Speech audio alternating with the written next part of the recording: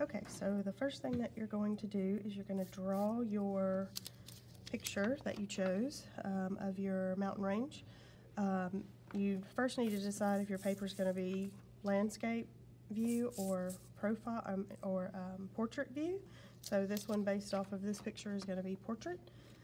So I'm going to start, I'm going to look at my first line here.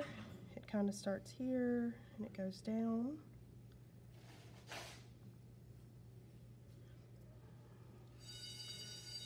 Not expecting this, sorry about the bell, not expecting this to be super perfect, but I do want you to get the lines of how they look.